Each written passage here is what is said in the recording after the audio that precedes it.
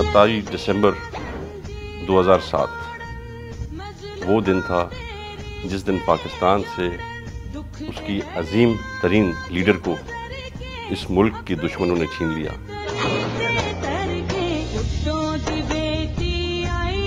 वो शहीद रानी जिसने इस मुल्क के लिए अपनी जान का नजराना दे दिया, जिसके वालिद ने इस मुल्क के लिए शहादत कबूल की पर आमरों के सामने सर झुकाने से जवाब दे दिया।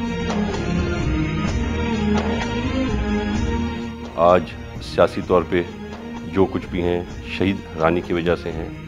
आज तक जहाँ जाते हैं, एक जिए भुट्टो का नारा मारने पर लाखों वोट हम पे निछावर होते हैं। ये वो शख्सियत थी जिसको ना ही कभी कोई भूल सकेगा और ना ही कोई उसका मुकाबला कर सकेगा जिस तरह से पाकिस्तान की आवाम उनके लिए दुआएँ करती हैं और दुआएँ करके याद करती है तो शायद ही ऐसा दुनिया में कोई शख्स हो जिसको इस तरह में आज तक दुआ में याद किया गया।